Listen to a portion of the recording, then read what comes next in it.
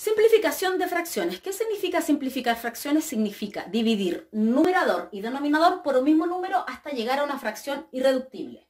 Por ejemplo, 10 dividido en 2 me va a dar 5, pero 25 dividido en 2 me va a dar 12,5. Y a mí no me sirven números decimales, tiene que ser exacto.